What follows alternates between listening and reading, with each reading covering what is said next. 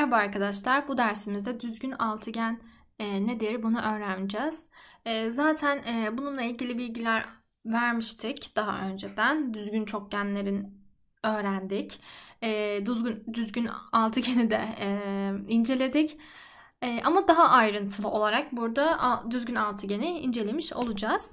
Evet biliyorsunuz ki düzgün altıgen 6 tane kenarı olan bir e, çokgendir. Bunların her Burada her kenar birbirine eşittir arkadaşlar. Görüyorsunuz. Bu şekil biraz karışık gözüküyor olabilir ama tek tek inceleyeceğiz.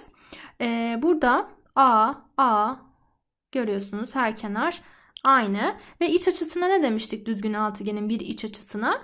120 demiştik. Bunun nasıl bulunduğunu hep anlattım size. E, ve dış açısı ne oluyordu? 60 oluyordu. E, burada ekstra bilmemiz gereken şeyleri şurada gösterici e, anlatmış. Ben de burada göstereceğim arkadaşlar. Karşılıklı kenarlar paraleldir. Bu ne demek? Karşılıklı kenarlar. Mesela AF ile CD birbirine paraleldir arkadaşlar. Burada BC ile FE uzattığımızda şöyle birbirine paraleldir. Ee, burada AB ile DE birbirine paraleldir. Burada da yazmış zaten. Bunları uzattığınızda paralel olduğunu anlıyorsunuz. Burada eğer ben B'den E'ye bir çizgi çizersem, diğer sorularda hani böyle çizgiler yoktu ama biz kendimiz burada oluşturuyoruz. B'den E'ye çizersem şuradaki O tam nokta, tam ortası diye düşünün bu e, köşegenin. Şuraya iki eş parçaya ayırdığını düşünün. Bu tam ağırlık merkezi. Tamam mı? Biri dış açısı 60, biri iç açısı 120. Tamam. Şimdi burada ABF üçgenine bakarsak diğer sorularda da karşımıza bu çıkmıştı. Şöyle B'den F'ye birleştirip bir köşegen çizdiğimizde ne oluyordu? Şu iki kenar eşit olduğu için ikiz kenar üçgen çıkıyordu ve bu açılar birbirine eşit oluyordu. 120 ise 180'den çıkardık 60 kaldı. 2'ye böl 30 30 paylaştırıldı. Burada ne çıktı arkadaşlar karşımızda? 30 30 120 üçgeni çıkmış oldu. 120 30 30 üçgeni yani hiç fark etmez nasıl okunduğu. Bu e, karşımıza çıktı. Peki bu bizim e, ne işimize yarayacak? Hatırlarsanız önceden özel üçgenler görmüştünüz. Şimdi 30'un karşısı görüyorsunuz ki A. 30'un karşısı yine A. Tamam. Peki 120'nin karşısındaki kenar hakkında ne söyleyebiliriz? Bunu biliyor muyuz? Evet bir şeyler söyleyebiliyoruz arkadaşlar. 30'un karşısı A ise 120'nin karşısı A kök 3'tür diyeceğiz. E, 30-30-120 üçgeninde bunu kullanacağız arkadaşlar. Şu kenarı da biliyoruz. Geçtim bu bilgiyi de. Bunların hepsinin aklınızda olması gerekiyor ki sorularda karşınıza çıktıkça kullanabilirsiniz. OCD eşkenar üçgendir diyor. Bakalım OCD. Burada bakın ikiye e, tekrar bir hani köşeye çizmiş. Ondan sonra demiş ki şuradaki üçgen eşkenar üçgendir demiş. Tamam mı? Burada da neden? Şurayı iki mesela şurası 120 ya 60 60 ayırmış. Burası da 60 60 ayırmış. Buraya da 60 kalır. 60 60 60'tan bunların hepsi ne oldu? Eşkenarı üçgen oluşturmuş oldu. Burada üçgenleri hatırlamanız gerekiyor arkadaşlar. 60 60 60'da ne oluyordu? Eşkenar üçgen oluyordu. Farz edin ki şuralar 60 yazdığımı düşünün. Tamam mı? Buradan eşkenar üçgen çıkmış oldu. Kenarları eşit oldu yani. Tamam devam ediyorum. Diyor ki BE eşittir 2 çarpı CD. Yani CD'nin 2 katıymış BE. CD'nin 2 katıymış BE. Mesela ben şuraya A dedim ya. Demişiz ya buraya A. Şu BE de bunun 2 katı. Tamam mı? Zaten e, aslında hani akla gelmeyecek bir şey değil bu. Hemen gözüküyor bence yani. Şurası zaten CD ile burası da paralel olduğu için hemen gözüküyor ki kuraldan kural gereği. Burası AA desek ne oldu burada da zaten eşkenar üçgenler oluşmuştu. Burası da 60 60 desek şurası da A olsa burası da A olsa AA 2A olmuş oldu. Nereden geldiğini de bilin arkadaşlar. Tamam mı? Öyle kafamıza göre vermiyoruz. Bunların hepsi şuradaki e, eşitliklerden çıkıyor. Tamam mı? Açılardan çıkıyor hepsi. Öyle kafadan şuna şu eşit olsun falan diyemiyoruz. Yani geometride en fazla yapılan hatalardan biri bu. Tamam şimdi diyor ki alan OCD şuradaki üçgenin alanı nedir? Şimdi burada arkadaşlar eşkenar üçgen var ve eşkenar üçgenin alanını şöyle buluyorduk. A kare çarpı kök 3 bölü 4. Evet bunu aklınızda tutmanız gerekecek. Diğer her şey e, çıkar. Yani 30 30 120'yi de tabii bilmeniz gerekiyor da. A kare kök 3 bölü 4 bilinmesi gerekiyor. Evet alana gelelim. Bütün alana gelelim. Yani şuradaki üçgenin alanını söyledik. A kare kök 3 bölü 4. Tamam. Ee, ama bütün bu altıgenin alanını sorarsa ne diyeceğiz? Buradaki üçgenin OCD üçgeninin 6 katı. Bakın şurada iki parçaya ayırıyor.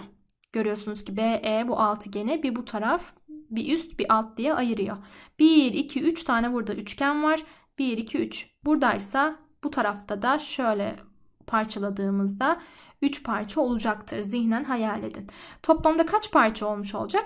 6 parça olmuş olacak. Yani ben şu üçgenden 1, 2, 3, 4, 5, 6 diye düşünürsem 6 ile çarptığımda da bütün alanı bulmuş olurum.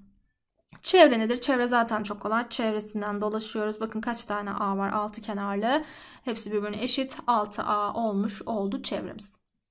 Tamam yanda da bir, bir şey bilgi verilmiş. Karşılıklı kenarlar paralel olduğundan ACDF şöyle bir çizsek dümdüz indirsek arkadaşlar burada bir dikdörtgen oluşur deniyor. Bunlar hepsi paralellikten geliyor. Bunların çok fazla ispatına girmeyeceğim.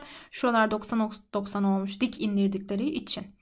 Bunların hepsini sorularda kullanacağız arkadaşlar. Hani bunlar böyle e, çok ezber ve boş gibi gözükmesin. Sorularda kullandıkça aklınıza yatacak zaten. Tamam mı? Hepsinin de ispatı var. Evet. Şöyle. Hemen şuranın üstünden yazmaya çalışacağım arkadaşlar. Olmazsa zaten açarım e, sayfamızı. ABCDE düzgün altıgen e, ve diyor ki Hı, tamam. X kaçtır diyor. Bakalım arkadaşlar. Evet. Aslında burada bir kuralımız var. E, ama üst katta vermediğim yani üst kısımda vermediğimiz için e, hatırlar mısınız bilmiyorum. Şurada arkadaşlar bir M harfi var. Görüyor musunuz? Bence böyle pratik anlatmak daha iyi olacak. Şöyle bakın.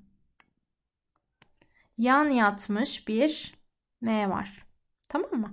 Bu M kuralında şurla şurasıyla burayı topladığımda x'i elde ederim. Hemen bunu böyle anlatmak istiyorum. Çünkü ipucunda da bunu vermiş. Ee, çok daha basit yani uzun uzun da anlatabilirim. Hani o açıdan bu açıya geçmek vesaire. Ee, ama gerek yok. Buradaki m kuralını bilin arkadaşlar. Ee, x diyeceğim. 40 ile 45'in toplamıdır. Yani 85. Bakın ne kadar kolay olduğunu görüyorsunuz. Evet ikinci soruya bakıyoruz arkadaşlar. Burada ABCD düzgün altıgeni verilmiş. E, bir kare verilmiş e, ve köşegenler verilmiş. Burada ne yapacağız arkadaşlar? Önce şuradaki kareye bakalım. Tamam mı? Şuradaki kareye bakalım. Burada ne var? E, şu bir köşegen. Evet güzel çizemedim. Şöyle tekrar siliyorum. Şuradaki kareye bakalım arkadaşlar. Şurası da bir köşegen.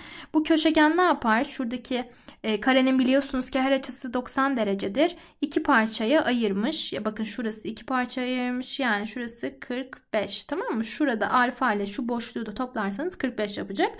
Ama oraya yazmıyorum daha fazla karışmasın diye. Şurası da 45. Şurası 90. Tamam mı? Şimdi bunu bu yazdık. Nereden buldum? Karenin köşegen özelliğinden bunu yazmış oldum. Bir de görüyorsunuz ki burada AD yani altıgenin bir köşegeni var arkadaşlar. Gördük mü? Tamam. Peki bu köşegen ne yapar? Şuradaki altıgenin bir açı, iç açısı neydi? 120 idi. Buradaki köşegen de şuradaki köşegen ne yapıyor bu 120'yi? 60 60 diye ayırıyor. Şurası da 60 oldu. Anlaşıldı mı? Yani alfa ile 45 ne yapıyormuş? 60'ı veriyormuş. Alfa ile 45'i toplarsanız 60'ı verecek. Alfa buradan ne geldi? 15 geldi arkadaşlar. Tamam mı? Hemen üçüncü soruya geçiyorum. Üçüncü soruda diyor ki ABCDE düzgün altıgen ve bir kare verilmiş. Bakın karede biliyorsunuz ki her açı her kenar, kenarı gösterip açı diyorum. E, her kenar birbirine eşit. Bakın şurada FA nedir? Aynı zamanda altıgenin bir kenarı. Hem karenin kenarı hem de altıgenin kenarı. Şu kenar buysa bunlar da hepsi birbirine eşit olmuş oldu. Şimdi buradaki açılar hakkında ne diyebilirim? 90. Kare çünkü. Tamam mı? Şuralar 90 yazmama gerek yok. Peki şöyle yapalım. Şurada F açısı ne oluyor? Altıgenin bir açısı. Yani ne oldu? 120'den 90 çıkartırsanız buraya 30 kalmış oldu. Şimdi bakalım başka ne yapabiliriz? Şöyle bakalım. Burası ne dedik? 30 dedik değil mi arkadaşlar? Güzel yazamıyorum ama idare edin. Şuradaki kenarla buradaki kenarda birbirine eşit. Burada ne oluştu bir? İkiz kenar oluştu. 180'den 30'u çıkartın. 150. Peki şuraya iki eşit olarak paylaşılmayacak mı? Evet. 150'yi bölerseniz 2'ye 75 75 olacaktır. Tamam. Peki 75 ile alfayı toplarsam neyi vermeli? 120'yi vermeli. Şurası 75 arkadaşlar. Alfa buradan ne gelecektir? 45 gelecektir. Anlaşıldı mı? Gayet basit. Kare ve altıgen bilgilerimizi kullanıyoruz. Dördüncü soruya geldim. Burada diyor ki çevre ABCDEF yani altıgenin çevresi 36'ymış. Şimdi arkadaşlar çevresi bakın 1, 2, 3, 4, 5, 6. Bir tanesine de x demiş. Demek ki şuraların hepsi x. Tamam mı? Ne oldu? 6x'im neye eşitmiş? Çevresini vermiş ya. 6x'im 36'ya eşitmiş. O zaman x nedir? 6. Yani bunu hiç anlatmama bile gerek yok. Şimdi burayı silelim. Diğer sayfamıza hemen geçelim. Evet. Beşinci soruya bakıyorum. Şekildeki düzgün altıgende AD kaç santimdir? Tamam mı? Evet bakalım. AD'nin uzunluğunu soruyor bize. Şimdi şöyle yapacağız arkadaşlar. Bir kenarını da vermiş bize. 8. Hatırlıyor musunuz? Ee, şöyle bir şey söylemiştik. Bir saniye şunları da yazayım. Ee, köşegen kenarın iki katı oluyordu hatırlarsanız. Yani şöyle hani ben şuraya A demiştim sonra burası 2A oluyordu hatırladık mı o kuralı? Burası A ise şurası 2A'ydı. Bakın bu da bir köşegen değil mi F'den C'ye? Ne fark eder? Burada paralellikler olduğu için mesela şuna A yani şu da A zaten. Bu A ise bu da 2A. Ne taraftan çizdiğinizin bir önemi yok. Bakın şununla şu paralel. Tamam mı arkadaşlar? A ise şuranın tamam yani şuradan şuraya 2A. Burası A ise burası şuradaki köşegen yani arkadaşlar. Şuraların paralel olmasından kaynaklı. Evet. Şunla şunun paralel olmasından kaynaklı burası A ise şuradaki köşegenim de 2A'dır. Peki bakın 8 8 8 burası da 8 2A ne olacak? 16 olacak. Tamam. Evet yazarken biraz karışık ama söylediklerime e, kulak verirseniz sıkıntı olmaz. Evet 6. sorudayız arkadaşlar. Bir kenar uzunluğu 4 santim olan düzgün altıgenin alanı kaç santimetre karedir? Şimdi birazcık yakınlaştırayım. Şöyle badem buradan yapıyoruz. Hı. Evet neydi benim formülüm? A kare kök 3 bölü 4 bir tanecik o eşkenar üçgenin alanı buydu. Ve ben bunu 6 ile çarparak ne yapıyordum? Altıgenin alanını buluyordum. Hatırladık mı? Şurası 6. Peki A dediğim şey ne? Kenar uzunluğu. Ne diyeceğim? 6 çarpı A kare yani 4'ün karesinden 16 kök 3 bölü 4. Keşke daha güzel yazabilsem şurada. Evet. 4. 16 ile 4'ü sadeleştir. 4. 4 de 6'yı çarp. 24. Bir de yanda ne vardı? Kök 3 vardı. Tamam. Anlaşıldı mı? Evet. Hemen 7. soruya geliyorum. Burada formül olarak bir tek herhalde bu alan e, formülü var. Onun dışındakiler hemen çıkıyor. Evet. Yedinci soruya geldik arkadaşlar. Diyor ki çevre ABCDEF ABCDEF yani altıgenin çevresi 24'müş. Şimdi şunu 6'ya bölün arkadaşlar bir kenarını bulalım. Tamam mı? Neymiş bir kenarı? 4. Yani yazmama gerek yoktu. Yazıyorum işte. Yazamıyorum hatta. Evet şöyle geri al. Tamam. Her biri 4 tamam mı? Bunu aklınızda tutun. Diyor ki A, A, E, B e, alanı kaçtır diyor. Şimdi bakalım. Şimdi arkadaşlar şöyle. Burada altıgenin bir iç açısı neydi? 120. Diğerlerine ne kalır? 30 30 kalır. Tamam mı? Şuradaki ikiz kenarlıktan. 30 30 kalır. Bakın burada E ile A hemen ne olmuş? Dik inmiş. Ne diyeceğim buraya? Diktir diyeceğim. Tamam? Anlaşılıyor mu? Tamam. Şimdi şurası 4 ise burası mesela 8. Bu bilgiyi de verelim paralellikten. Tamam. Sonra ne diyeceğim? Burada bir sanki özel üçgen var. Nereden anladım bunu? Hemen göstereyim arkadaşlar. Şurada da iki parçaya ayrılmış zaten. 60 60 diye ayrılır demiştim hatırlarsanız köşegen ne yapıyordu açıları? Altıgende 60-60 diye bölüyordu. 120 ya bir açısı. 60-60 böldü. 90-60 burası ne? Şurası da 30. Şu üçgen e, çizin yani renkli olan üçgende. Tamam. 30, 60, 90 üçgeni var. 30'un karşısı 4 ise 60'ın karşısı yani şu E, A yani AE de diyebiliriz. Nedir? Bakın 30'un karşısı 4 ise 60'ın karşısı 4 kök 3. 90'ın karşısı da 30'un 2 katı olan 8'dir arkadaşlar. Tamam mı? Burada neyi soruyor ama bize? Alanı soruyor. Şimdi ben şurada bir e, sayfa açmak istiyorum. Şu 30 60 90 üçgenini de bir anlatayım size. Bu özel üçgenlerimizi aslında hatırlamanız lazım ortaokulda. Bundan önce neyden bahsetmiştik? 120 30 30. 30'ların karşısı A A ise 120'nin karşısı A kök 3 oluyordu. Hatırladık mı?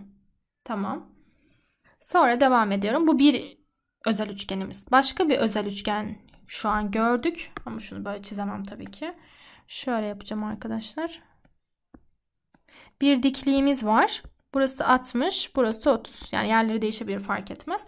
30'un karşısı A ise 60'ın karşısı A kök 3, 90'ın karşısı da 30'unkinin 2 katıdır deyip 2A'dır diyoruz. Şunları lütfen not alın. Karşımıza çıktıkça e, söyleyeceğim ama özel üçgenleri de bir e, araştırabilirsiniz. Tamam.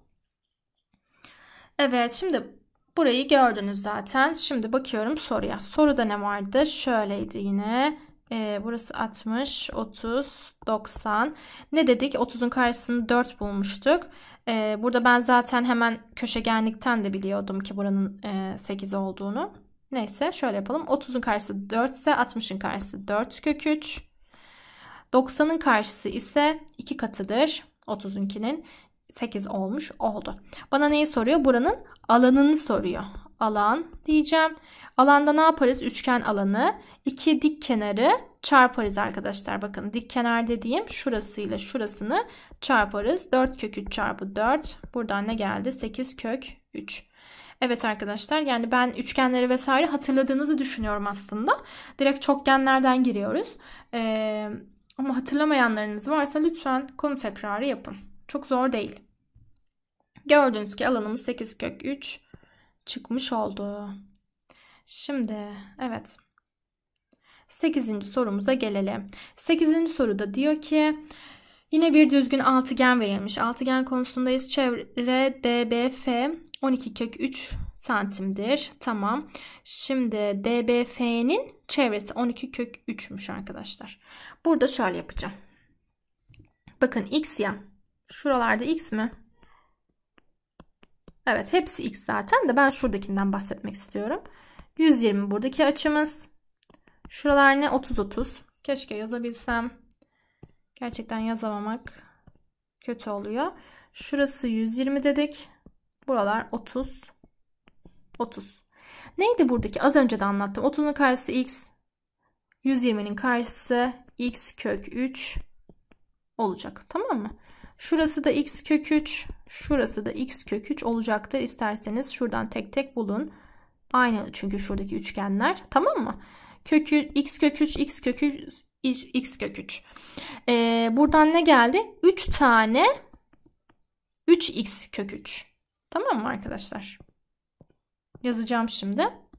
3x kök 3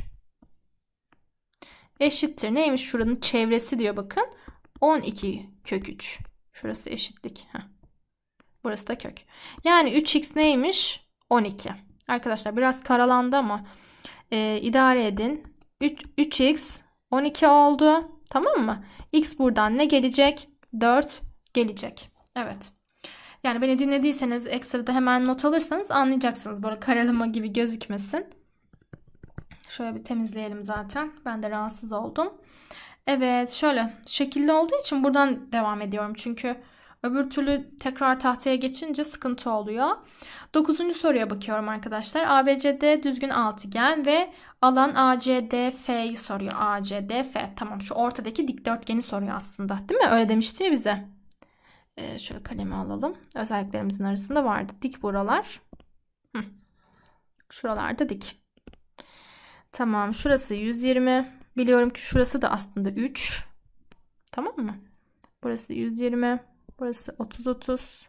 Buradan ne geldi? 30'un karşısı 3 ise burası 3 kök 3. Değil mi? Az önceki soruda da yaptık. Burası 3 kök 3 ise burası da 3 kök 3. Onun dışında her kenarı 3 olduğundan şuralar 3. Tamam mı? Şurada dikdörtgende ee, umarım arkadaşlar anlaşılıyordur. Tamam şuradaki dikdörtgenin alanını soruyor. Tamam şöyle yapayım hatta sizin için. Evet güzel yazamamak bayağı beni e, yıprattı arkadaşlar.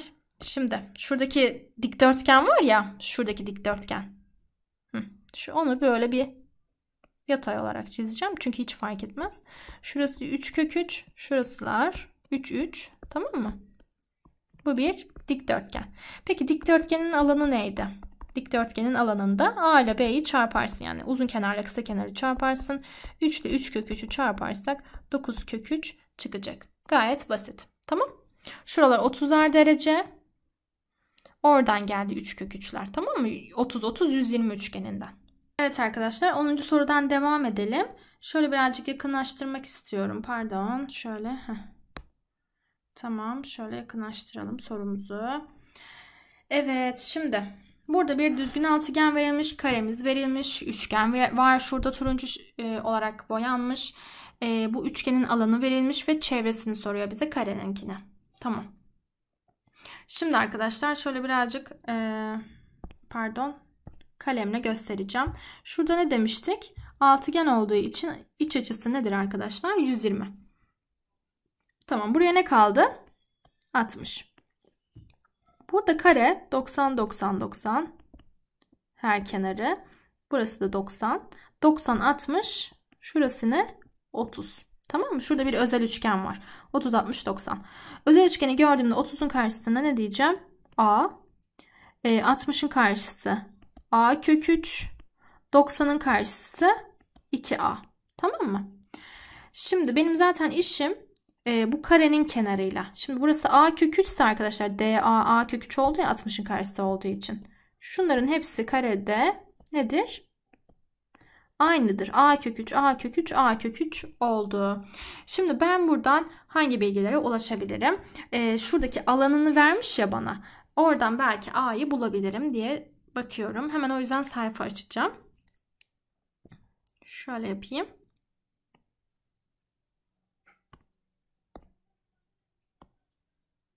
Evet arkadaşlar şimdi bu üçgen var ya 30 60 90 üçgeni.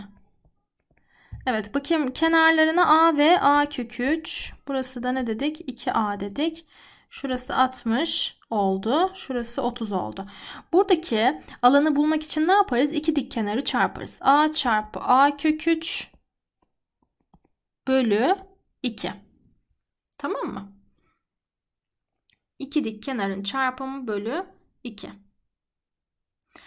Evet bu ne, ne oldu buradan? E, neye eşit oldu? 2 kök 3'e eşit oldu. Burada ne olacak arkadaşlar? A kare kök 3 oluştu. Şunu da şununla çarpacağım içler dışlar diye düşünün. 4 kök 3 oldu.